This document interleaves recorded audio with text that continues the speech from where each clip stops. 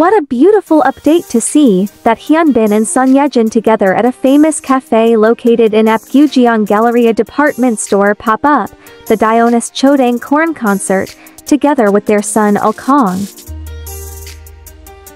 A fan posted their photos and it immediately went viral. Many were happy about it, because they were looking for a place for their alone time together, and at the same time a friendly place for their child.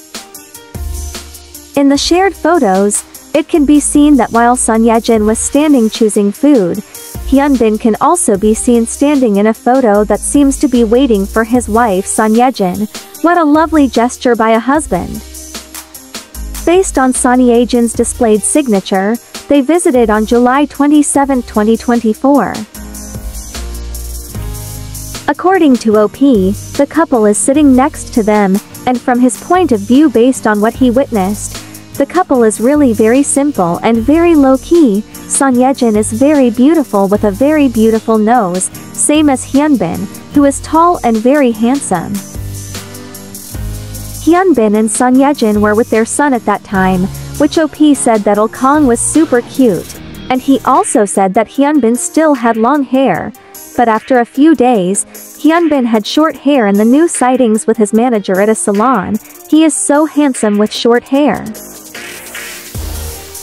And here is the photo of Hyunbin while leaving the salon, wearing a simple white t-shirt and black shorts, with black slippers, but very handsome and simple. Meanwhile, here's Giacomo officials' new update for the calendar August 2024 issue, where they showed Hyunbin's handsome photos.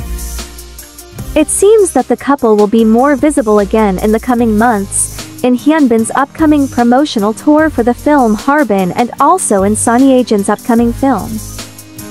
And this is the most recent sightings of the Kim family, and for more information please stay tuned to my YouTube channel, and don't forget to like, share and subscribe, until next time, thank you for tuning in.